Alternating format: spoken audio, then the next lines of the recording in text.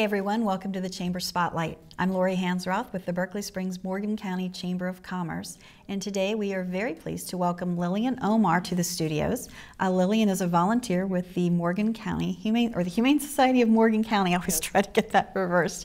Um, the Humane Society has been active in Morgan County now for over 36 years. You guys have done an amazing job simply amazing job.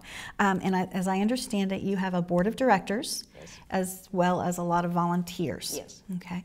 Um, I'm sure you're always looking for volunteers. Always, and also board members. Okay. Um, so if someone wants to volunteer at the Humane Society, what do they do? They pretty much come into the shelter, sign a waiver that uh, they are insured, mm-hmm. and anybody who wants to volunteer has to be over 18 or mm-hmm. they need to bring a parent so we are not uh, responsible mm-hmm. for any incidents, which usually do not happen. But we just try to keep the volunteers um, occupied, mm-hmm. taking care of things that we need on a daily operation or with the animals.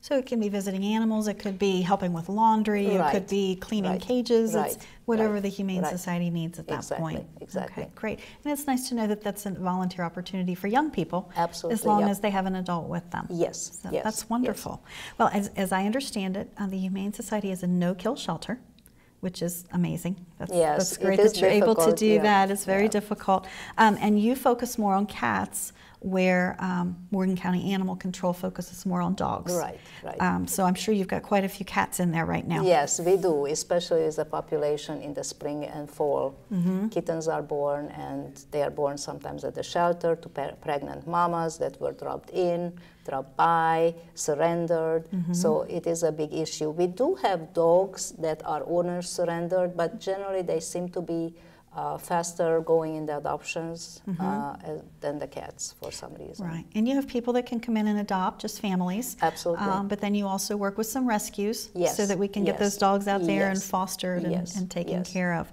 Um, well, of course, along with all those cats, I know that you guys do a lot of educating as far as responsible pet ownership. Right, right. Uh, different events. I've seen you set up at the fair yes, or yes, uh, yes. different things.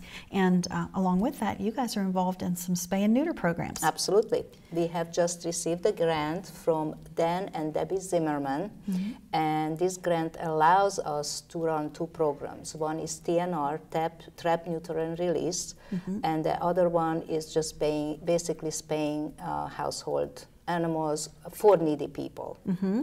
that otherwise would have not been fixed. Right, right. Which is really important because not getting an animal fixed and procreating is, is a big issue, especially that's what we see with the cats, the right. outside cats, and it has been an epidemic in Morgan County. Mm-hmm. We used to get grants, we used to apply for grants for TNR, and unfortunately our grants were about $5,000, which was a drop in the bucket. Now right. we do have substantially more money to be able to fix everybody that. So the um, the TNR, the trap neuter release, can help with the feral cat population. Absolutely, yes. So yes. someone who has a lot of cats running around right. in their neighborhood could mm-hmm. contact you about trapping yes. these cats, getting them yes. neutered, spayed, yes. yes. and then they can be released. Right, and we make all the arrangements. The owner, well, certainly they are not owners, but mm-hmm. the the person who brings them in mm-hmm. uh, makes an appointment. We make an appointment at one of the vets, and they are responsible for just uh, basically transporting the animals there, and then they are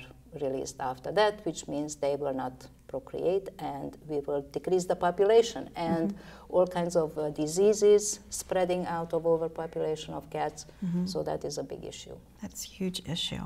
Um, so, you know, as you mentioned, you guys go for a lot of grants. Yes, um, because you rely on grant funding, um, donations, fundraisers, right, and fundraisers. Right, right, Your large fundraiser is in the spring. Uh, we have uh, Petapalooza in March, and mm-hmm. we have an annual dinner, which is in the fall, in September. Okay. okay. Um, and I know throughout the year, you guys have a wish list of things that, yes. you know, if, if, folks can't donate money, they can pick up some things at the grocery store and bring in. Right. What are some of the things that, that really help? Right. I do have a wish list here. Mm-hmm. And these, let me just read these out. Uh, bleach, paper towel, laundry detergent, wash um, detergent, Dawn dish mm-hmm. detergent, uh, postage stamps, postcard stamps, kitty litter, we need clay kitty litter, Kirkland cat food, pedigree, dog food, canned dog food, blankets, copy paper, trash bags. Right. Pretty much anything that a household would use, and we specifically ask for this different brand of cat and dog food because they are a little bit higher in quality. Mm-hmm. Well, and it's important too that you don't have 10 different kinds of cat and dog food dropped Yes, off because yes. their stomachs get upset and Right, then that's right, much right. more difficult and stressful on the animals.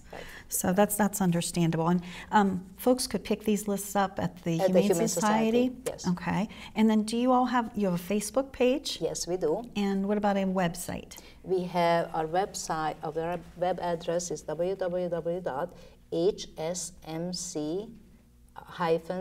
www.hsmc-wv.org. So Humane Society of Morgan County. County, West Virginia. West Virginia.org. Okay, perfect. So um, if folks are looking for a place, since we are coming up to the end of the year, they might want to make a donation. You guys are a 501c3, so it is a tax deductible Yeah, donation. yes. So that's great for everyone to keep in mind.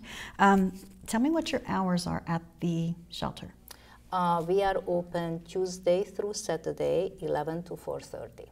Okay. And do folks have to make an appointment if they want to come visit with the animals to, to adopt? They can stop over mm-hmm. through our website. They can download an application if they are interested in an animal. And our website goes out to different databases, so all the animals are listed pretty much nationally.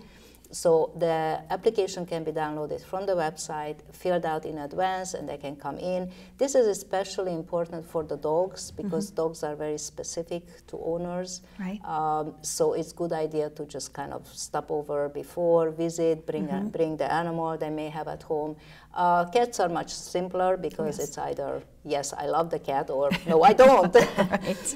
so No, uh, so you do have your the um, ever, all the animals at the shelter Yes, are on yes. several different websites, so people could actually go there, see a picture of them, right, and even right, kind of check things out in yes, advance. Absolutely, and description is listed in the website, and our website is usually pretty up to date with Mm-hmm. whoever is in the shelter because that all goes together.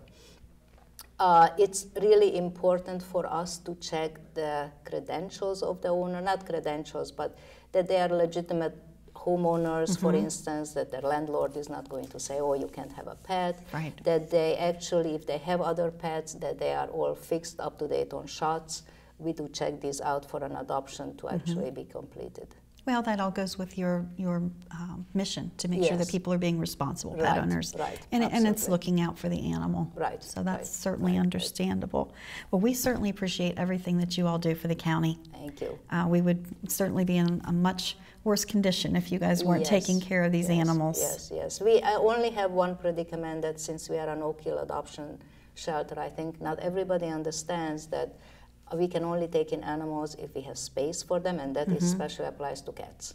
Okay. And sometimes people in the community get a little bit frustrated because we will say, no, we do not have any space. Mm-hmm. Uh, but once adoptions happen, then of course we do accept. So the best way is for folks to call ahead Yes, and make sure that there's space. Yes, Don't yes. just bring the animals in No. and drop them off at the door.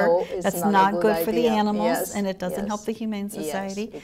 Um, so the best thing they can do is support the Humane Society through donating items from the grocery store, um, donations to your fund, and helping with adoptions, making sure that everybody knows we've got you know some senior cats in there that would love to go home for the Absolutely, Christmas Absolutely, season. yes, So, yes. Awesome. And volunteers are always appreciated also. Oh, well, thank you so much for coming in today, Lillian. Thank you. Um, you can check out this video and more at berkeleySpringsCommunityMatters.com. My name is Lori Hansroth. I'm with the Berkeley Springs Morgan County Chamber of Commerce, reminding all of you to remember our nonprofit organizations this fall. Take care. Bye.